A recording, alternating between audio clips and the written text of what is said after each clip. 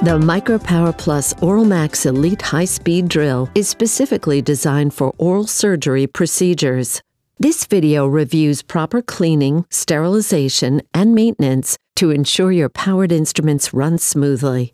Please follow universal precautions for protective apparel when handling and cleaning contaminated instruments.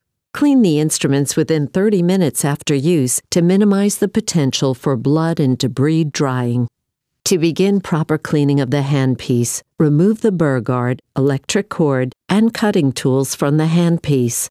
Thoroughly scrub the handpiece with a clean soft brush dampened with a mild pH balanced detergent with a pH of 10.5 or less. Do not submerge the handpiece during cleaning. Manipulate all moving parts of the handpiece to ensure all debris is removed.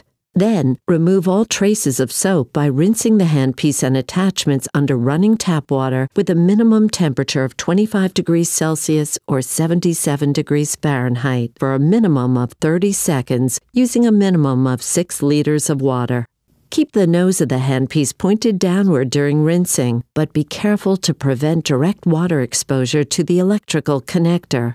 Flush all surfaces free of tap water with distilled water at a minimum temperature of 25 degrees Celsius or 77 degrees Fahrenheit for a minimum of 20 seconds using a minimum of 4 liters of water.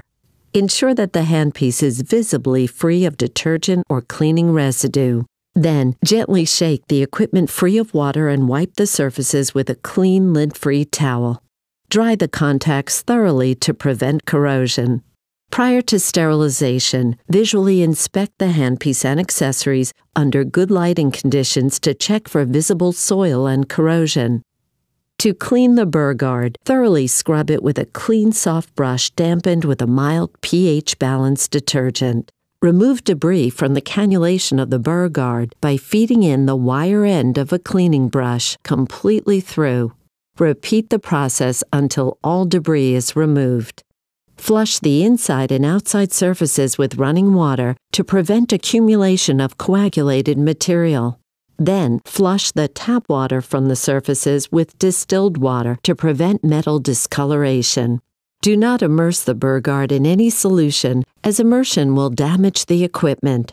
Gently shake the burr guard free of as much water as possible. Then wipe the surface with a clean lint free towel. The burr guard is now ready for sterilization. The universal cable should be cleaned by wiping down the surface with a clean lint-free cloth dampened with a mild pH balanced detergent.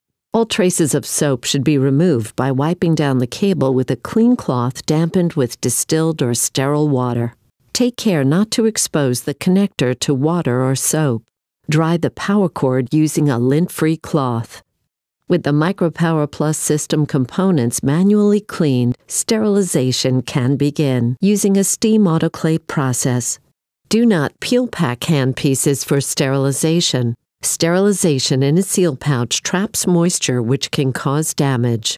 Sterilization can be completed using an FDA cleared sterilization wrap or sterilization tray. Refer to your MicroPower Plus instruction manual's sterilization instructions to confirm the minimum temperature, exposure, and dry cycle times specific to your steam sterilization method. ConMed recommends that your MicroPower Plus Oral Max Elite handpiece and burr guard be returned for service every six months. In addition, ConMed offers extended service programs that assist you in the care and maintenance of your equipment for one to four years please contact your local sales representative to find out more about these service programs.